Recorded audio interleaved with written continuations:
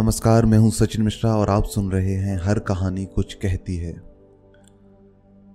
मूसलाधार बारिश हो रही थी और वो अपने कमरे में बैठा जल थल देख रहा था। बाहर बहुत बड़ा लॉन था जिसमें दो दरख्त थे। उनके सब्ज पत्ते बारिश में नहा रहे थे। उसको महसूस हुआ कि वो पानी की इस बारिश में खुश होकर नाच रहे हैं। उधर टेलीफोन का एक खंभा गड़ा था, उसके फ्लैट के एन सामने। वो भी खुश नज़र आता था। हालाँकि उसकी खुशी की कोई वजह मालूम नहीं होती थी। इस बेजान शय को भला मसरूर क्या होना था? लेकिन तनवीर, जो कि बहुत मगमूम था, यही महसूस किया कि उसके आसपास जो भी शय हैं, खुशी से नाच गा रहे हैं। सावन गुजर चुका था, बारिश नहीं हुई थी। लोगों ने मस्जिदों में इकट्ठा होकर दुआएँ मांगी, मगर कोई नतीजा बरामद ना हुआ। तनवीर को बादलों और बारिशों में कोई दिलचस्पी ना थी। उसकी ज़िंदगी चटियल मैदान बन चुकी थी, जिसके मुँह में पानी का एक कतरा भी किसी ने ना टपकाया हो। दो साल पहले उसने एक लड़की से, जिसका नाम सुरैया था, मोहब्बत शुरू की थी। मगर वो एक तरफा मोहब्बत थी। सुरैया ने उसे ध्यान देने लायक भी ना समझा। सावन के दिन थे, बारिश हो रही थी। वो अपनी कोठी से बाहर निकला, लंगोट पहनकर नहाया और बारिश के मज़े लिए आम बाल्टी में पड़े थे। वो अकेला बैठा उन्हें चूस रहा था कि अचानक उसे चीखें और कह कहे सुनाए दिए। उसने देखा कि साथ वाली कोठी के लॉन में दो लड़कियाँ बारिश में नहा रही हैं और खुशी में शोर मचा रही हैं। उसकी कोठी के साथ वाली कोठी के दरमियान सिर्फ़ एक झाड़ियों की दीवार थी। तनवीर उठा आम का रस चूसते हुए वो बाड़े के पास गया और गौर से उन लड़कियों को देखा। दोनों महीन मलमल के कुर्ते पहने थी, जो उनके बदन के साथ चिपके हुए थे। सलवारें चूँकि लट्टे की थी, इसलिए तनवीर को उनके बदन के निचले हिस्से के सही आकार और प्रकार का पता ना चल सका। उसने पहले किसी औरत को ऐसी नज़रों से कभी नहीं देखा था। जैसा उस रोज़ जबकि बारिश हो रही थी, उसने उन दोनों लड़कियों को देखा। देर तक वो उन लड़कियों को देखता रहा, जो बारिश में भीग भीग कर खुशियों की आवाज़ बुलंद कर रही थी। तनवीर ने उनको पहले कभी नहीं देखा था। इसलिए कि वो मिजाज से कुछ इस किस्म का लड़का था, जो किसी लड़की को बुरी नज़रों से देखना गुनाह समझता था। मगर उस दिन उसने बड़ी ललचाई निगाहों से उनको देखा।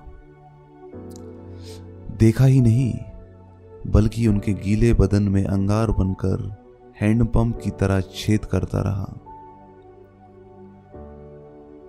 तनवीर की उम्र उस वक्त करीब 20 वर्ष की होगी। ना तजुर्बेकार था।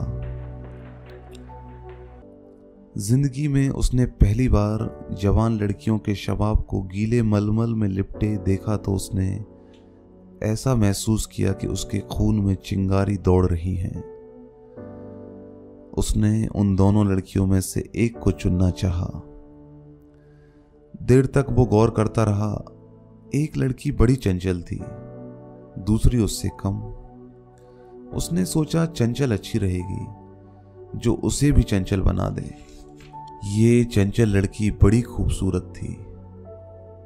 उसके शरीर के अंग भी खूबसूरत और नाजुक थे। बारिश में नहाती जल परी मालूम होती थी। थोड़ी देर के लिए तनवीर शायर बन गया। उसने कभी इस तरह नहीं सोचा था, लेकिन उस लड़की ने जिसका कुर्ता दूसरे के मुकाबले बहुत ज़्यादा महीन था। उसको ऐसे शेर याद दिला दिए, जिनको वो काफ़ी पहले भूल चुका था। इसके अलावा रेडियो पर सुने फिल्मी गानों की धुन भी उसके कानों में गूंजने लगी। उसने बाड़े के पीछे ये महसूस करना शुरू किया कि वो शाहरुख या सलमान है। फिर उसे माधुरी ऐश्वर्या का ख्याल आया। मगर उसने जब उस लड़की की तरफ़ इस गरज से देखा कि उसमें माधुरी और ऐश्वर्या के अंग प्रति अंग नज़र आ जाएँ, तो उसने उन दोनों एक्ट्रेसों पर लानत भेजी। वो उनसे कहीं ज़्यादा हसीन थी। उसके मलमल के कुर्ते में जो शबाब था उसका मुकाबला उसने सोचा कोई भी नहीं कर सकता। तनवीन ने आम चूसने बंद कर दिए। और उस लड़की से जिसका नाम परवीन था, इश्क लड़ाना शुरू कर दिया। शुरू में उसे बड़ी मुश्किलात पेश आई, इसलिए कि उस लड़की तक पहुँचना तनवीर को आसान नहीं मालूम होता था। फिर उसे अपने माँ बाप का भी डर था। इसके अलावा, उसे ये भी एहसास था कि उसे भी वो किचन महसूस हुई है या नहीं। जो तनवीर को हुई थी। बहुत दिनों तक वो इन्हीं उलझनों में गिरफ़्तार रहा। रातें जागता, छोटी झाड़ी के पास जाता, मगर वो नज़र ना आती।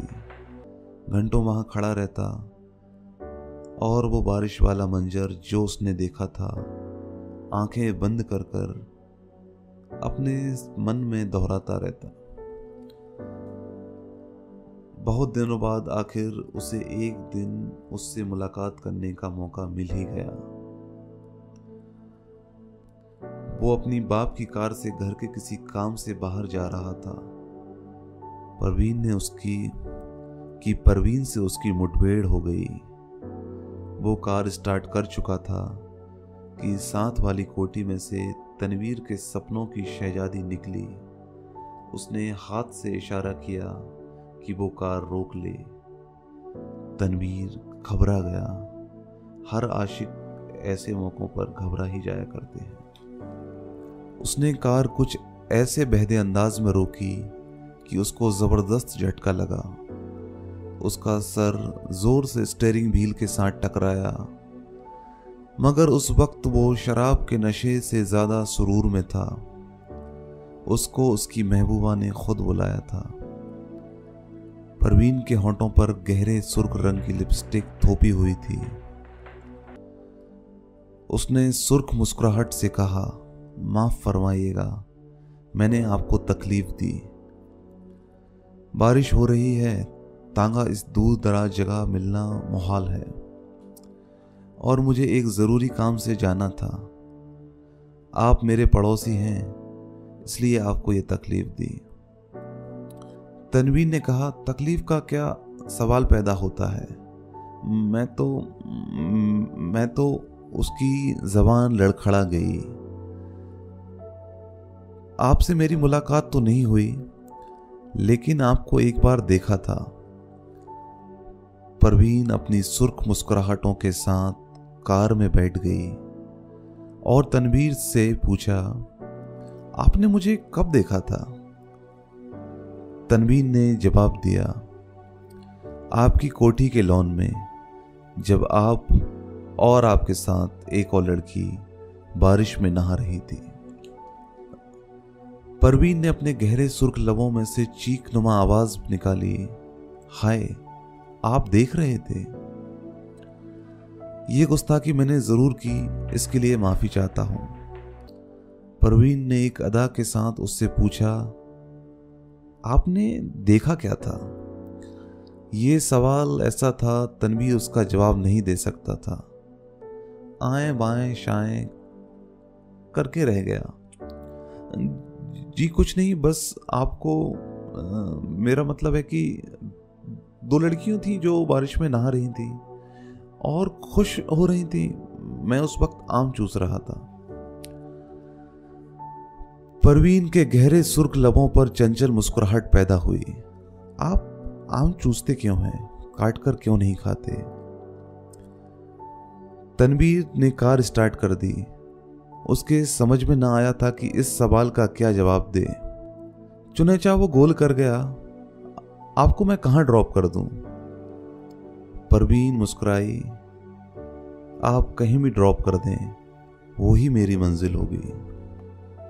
तनवीर ने यूँ महसूस किया जैसे उसे अपनी मंजिल मिल गई हो। लड़की जो उसके पहलू में बैठी है, अब उसी की है। लेकिन उसमें इतनी ज़रूरत नहीं थी कि वो उसका हाथ दबाए या उसकी कमर में एक दो सेकंड के लिए अपना बाजू डाल दे। बारिश हो रही थी, मौसम बहुत खुशगवार था। उसने काफ़ी देर सोचा। कार की रफ्तार उसके ख्यालात के साथ तेज होती गई। आखिर उसने एक जगह उसे रोक लिया और एहसासों में बहकर उसे अपने साथ चिमटा लिया। उसके होंठों पर अपने हॉट रख दिए।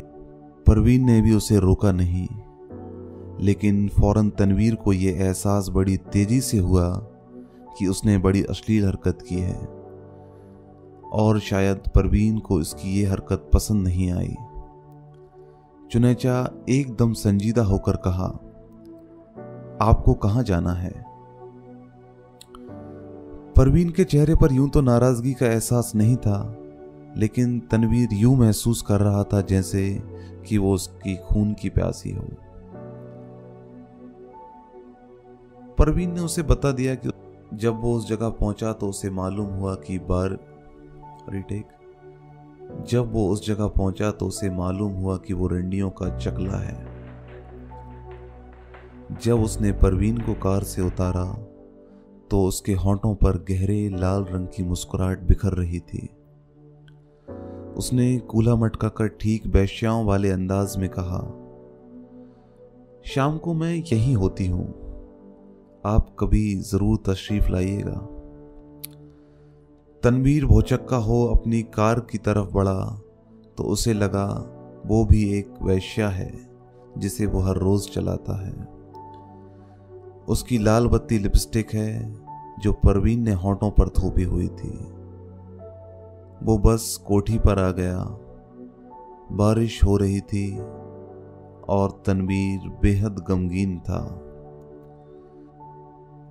उसको ऐसा महसूस हुआ कि उसकी आँखों के आँसू बारिश के कतरे बनकर टपक रहे हैं। ये थी कहानी बारिश। ऐसी ही कहानियाँ लेकर हम और हाजिर होंगे। तब तक के लिए धन्यवाद।